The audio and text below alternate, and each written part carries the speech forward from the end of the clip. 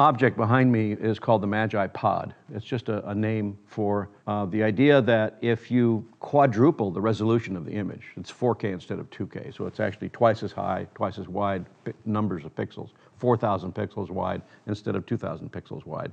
When you double the number of pixels, you can increase the width of the screen and still have the same resolution. So we've, we've increased the resolution, the width of the screen tremendously.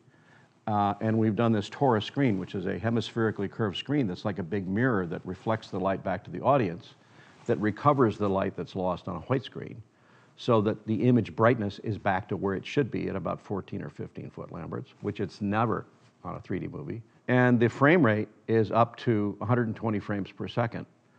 And that means all the blurring and strobing that you've gotten used to all your life of when a fast pan happens or when a fist moves across the screen or some fast action in a movie, it's all blurred. You know, if you just freeze that frame during an action sequence,